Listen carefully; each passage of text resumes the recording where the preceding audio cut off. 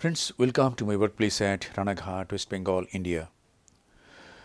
This is a cataract with grade 3 nuclear sclerosis.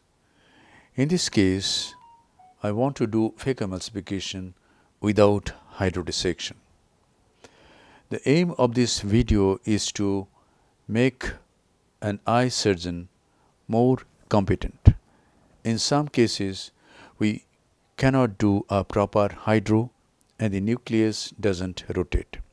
In those cases, we feel that it is very difficult to manage that case. But actually, it is not. Even without hydrodissection, we can do a case very nicely. I learned this technique from Dr. Narayan Barduli, founder of Chandraprabha Eye Hospital at Jorhat, Assam. Deep regards to Dr. Naran Barduli. After I learned this technique, I don't bother whether a nucleus is rotating or not, whether hydrodissection is proper or not, because phaco can be done very nicely even without hydrodissection.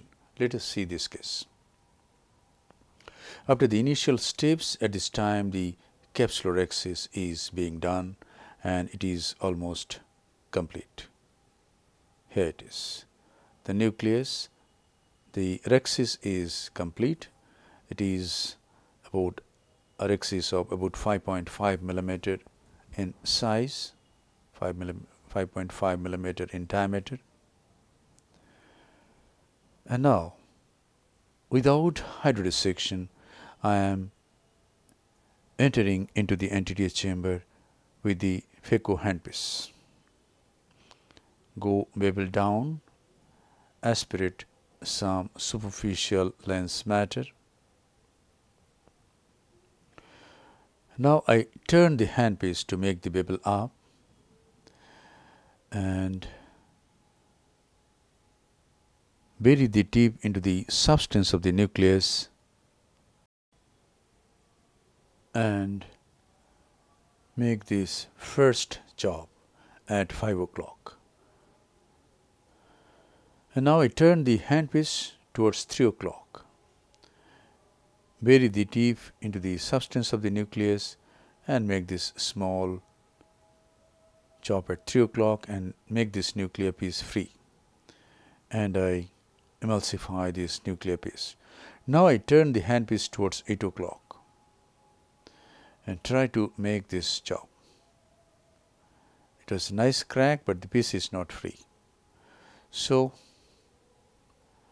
I go and bury the tip again and chop again at around between 8 and 9 and I could get a free nuclear piece. And by this time hydrodissection has occurred naturally from center to periphery. So, this can be called reverse hydro or natural hydro.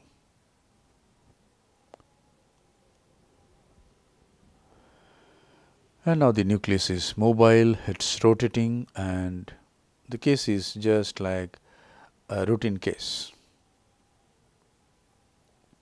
So, after we make first few cracks and make some free nuclear fragment, emulsify those fragments, hydrodissection occurs naturally. And this is the last nuclear piece. Emulsify the nuclear piece. At this time, I go to phaco 3 mode, epinuclear mode, where the vacuum and flow rate is less from beginning till the last piece the it was vacuum was high about 450 flow rate was 45 ml per minute and ultrasonic energy was according to the hardness of this nucleus about 70 percent. And now nucleus and epinucleus is nicely managed. In this case I am using a coaxial irrigation aspiration from Oertli. and here it is the cortical cleanup can be done very nicely with this coaxial irrigation aspiration device. For subincisional cortex, I went to the right side and I could pick off the subincisional cortex. And now I take the irrigating probe and polish the posterior capsule using only irrigation, no aspiration, just the irrigation. And now is the time to implant an intraocular lens. I am enlarging the main wound little bit.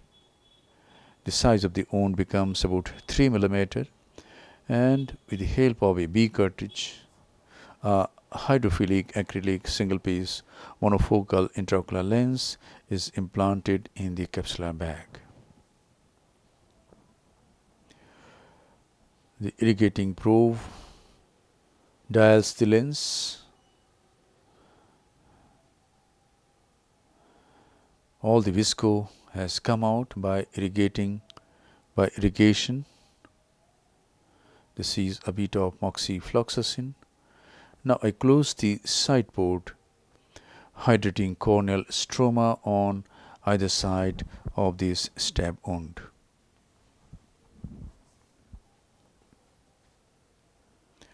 And finally, a last lavage of the anterior chamber. At this time, whatever visco remains stuck to the corneal endothelium comes out. And now the antechamber is nicely formed and the case is concluded. Thank you very much for your attention. Hope this video will help you in developing your surgical skills.